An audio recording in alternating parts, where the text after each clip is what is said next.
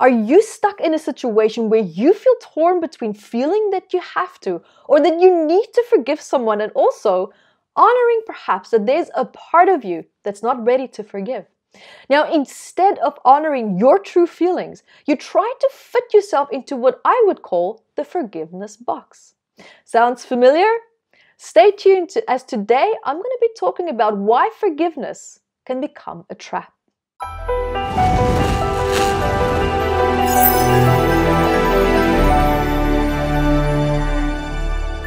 Hi, my name is Evette Rose, author and founder of Metaphysical Anatomy, which is a book of 679 medical ailments and also the hidden emotional stress messages behind them that we all share universally. And welcome to today's topic, which is about forgiveness is a trap. Now, this is a very interesting topic for me, and you know, I decided to talk about it because of how this process emotionally tortured me I tortured myself, right? Especially when I tried to align myself with a process that I was not ready for. Now, I've come to learn that forgiveness is not just something that you force, right? It's not something that you can just, it just happens, right? You can't force it. Now, for example, let's say you're guided or that you're told that you have to forgive because it's the right thing to do. Now, in that case, it always made me wonder where does that leave the concept of what's do of doing what is right for you? Right? So holding on to anger is a choice. Right? You always have free will.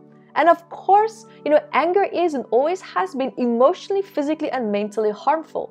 But it's also a choice on your part as to how long you want to hold on to that.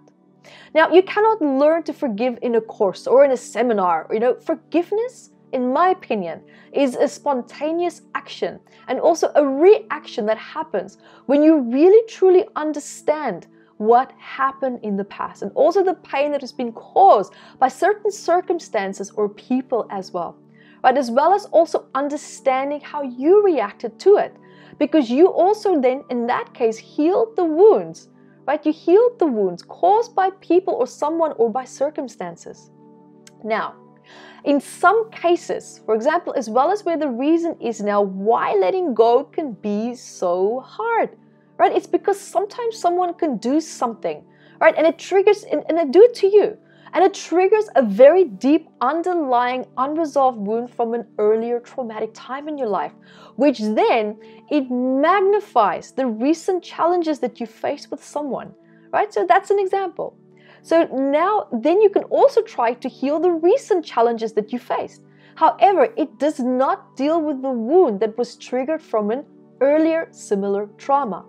Right? So, for example, now it still doesn't mean, for example, that you necessarily have to accept something that happened to you. Now, that, and especially now that challenged you emotionally or physically, it just means that it will help you to set you free and also help you to heal as well as then how these unjustful circumstances made you feel. And also, it is through that healing that you will gain mental clarity because you're not looking at the world through the eyes that are tainted with pain and also old trauma. Now, that healing, then, right, that healing will shift how you see yourself and also others, especially from your past circumstances. Now, it's almost like, you know, it's like when you're angry and you don't see happiness around you, right? You don't have much tolerance for people who are, for example, also irritating you. But when you're happy, when you're rested, you see the world very differently.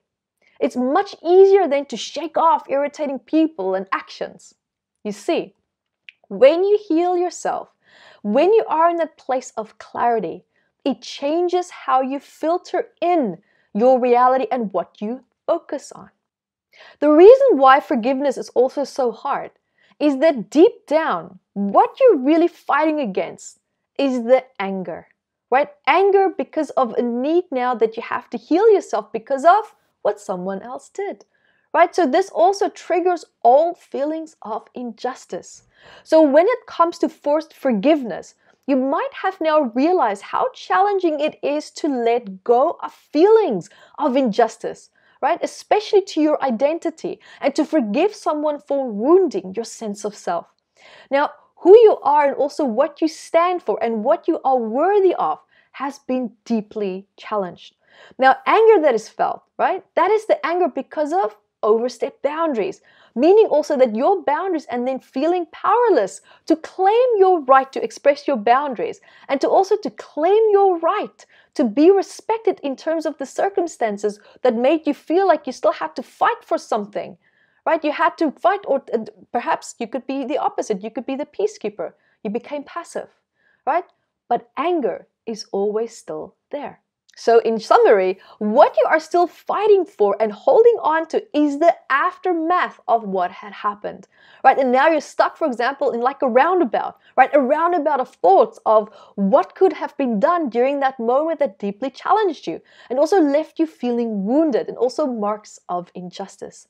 Now, what makes you also feel so powerless deep down is that the past does not exist anymore right? It's that little piece of memories in your subconscious mind and also the emotional body that is now stuck. And it keeps the traumatic memories alive. And I honestly don't also believe that you have to forgive someone else's actions, right? It's not your job to take responsibility for someone else's actions. Now, there are so many mentors out there that saying, for example, that you have to take responsibility for the part that you played as well. And, well, you know, say that to a rape victim. You know, this is, you know, this is someone who was, or say that to someone, for example, you know, who was shot and they nearly died. Someone who was in an accident as a result of a drunk driver, right? Someone once said to me, even as well, that I have to take responsibility for the role that I played when I was sexually abused as a child. I was four years old. So, you know, you see my point. As a four year old child, you're not responsible for someone else's actions. And hence also why I wrote the book, Finding Your Own Voice it was a very big catalyst there for me behind that. So if you're interested in that, is that something that's also in your past, I highly recommend that you read it. So in this case, coming back to responsibility, right? So you don't have to take responsibility for someone else's mistakes. That is my point. I repeat, you don't have to take responsibility for someone else's mistakes and them failing to take responsibility for their actions. That is not your fault and it is not your problem. You're not standing in their shoes. You're not dictating their lives. You have nothing to do with their life path and how they choose to live their life. That is their decision. Now, healing in this case, it is about you, right? It is your journey and it is about you claiming your quality of life back. And the problem with forgiveness is that it becomes a trap when you are guided into the forgiveness process when you are not ready. It is the expectation or even the pressure from, say, religion, mentors, or even society that triggers this deep resentment and also almost feeling like you can become a victim of the forgiveness process, right? Especially when you're not ready to forgive. And that is okay. Now, that is a trap that so many people fall into. And you can also, at any time when you feel ready, consciously and actively take steps to take your power back, right? And you can turn your life around and take your quality of life back within a split second, regardless of what others do or say. Because ultimately, your reality is not their reality. And that means that your reality is your playground and you can do with it whatever you want right? It is your place and space to create and to recreate what you want, right? Especially if something doesn't work for you, then you have the freedom to recreate what it is that you feel in alignment with, right? Because I've noticed that forgiveness is taught and projected in a way that requires action, meaning, say, like an action that is in most cases not in alignment with where you are at in your healing journey. There is a misalignment. Because when you're trying to forgive and you're not ready, you are actually in a place of feeling emotionally or even physically wounded.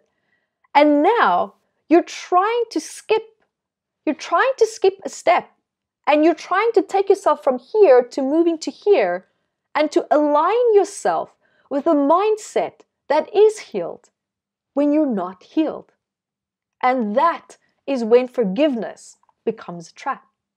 So you see, while you're still in that wounded place, it's not going to work.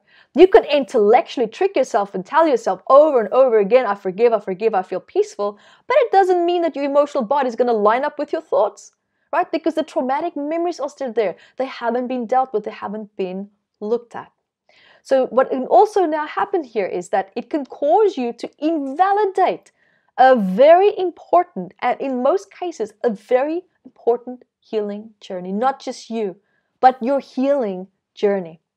So, what happens is that instead of focusing on your healing journey, you divert and you shift your focus to trying to change your mindset about how you feel about someone when in reality you feel quite the opposite. So your current state could also be in a place of, let's say, anger and resentment. And I say that because, because of injustice, right? Because of injustice. And anger also is being brought to life through the concept of forgiveness when you are not ready. So we create this form, right? We create this form now that is as a result of the actions and also the thinking that it's the only way to heal.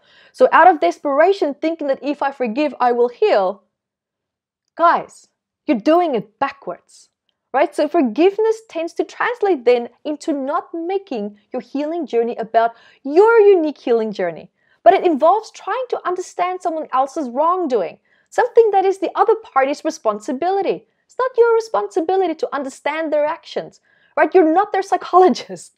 So what you will automatically demonstrate once you've healed is compassion. You'll have a sense of compassion towards someone who caused you pain. Right? So the final conclusion here is that forgiveness is healthy, of course, but only when you start it off by making it about yourself first. Right? So once you've done that, everything else that you, for example, would learn in, say, a two, three day event, right? Especially 20 steps how to forgive, will just spontaneously fall into place through a mental and emotional clarity. And that can actually happen within one second, right? So without any effort of any further part on your part. So if there is something that happened in your past that you feel that you're having trouble letting go of, then I would highly recommend that you go through my online free healing guided session at guidedhealingsession.com. So guys, remember to subscribe to my YouTube channel at Evette Videos. And until next time, be the light that you are. Hi guys, thank you for joining me. And remember to grab your copy of Metaphysical Anatomy on Amazon 679 medical ailments. And I also wrote about the psychosomatic root causes of that. And I'm spoiling you because I even added key points for you to start looking at important questions that you can ask yourself to start improving your quality of life. And also remember to catch me on Instagram Evette Rose 1 with the digit 1 and Metaphysical Anatomy on our Facebook fan page. Bye guys!